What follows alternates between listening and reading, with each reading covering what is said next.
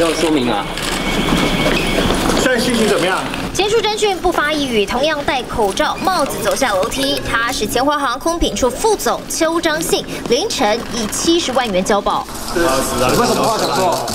小心哦，小心。满脸疲惫不说话。前华航资深副总罗雅美在华航人员团团包围下走出地检署，同样列被告，但仍然还有市政待厘清。罗雅美无保请回。是你指示的吗？是谁指示你去做的？是还有前一天就曾被传唤证人身份转列被告的华航空品处协理余姚五十万元交保。先生要不要说明一下是不是误会啊？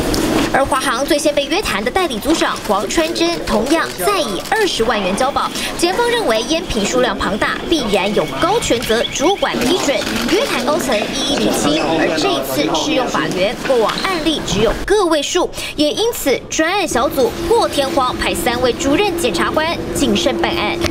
帮谁买的？要不要说明一下？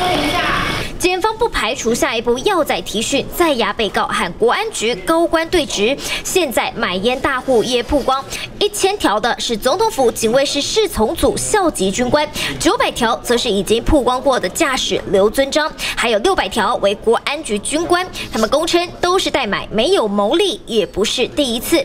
国安局案情是否跟华航一样？下一步往高层调查。新任国安局长邱国正才刚上任，罕见大动作预告，亲上火线召开记者会，恐怕也将再让私烟案掀起波澜。记者黄天阳、王安竹 SNG 小组台北采访报道。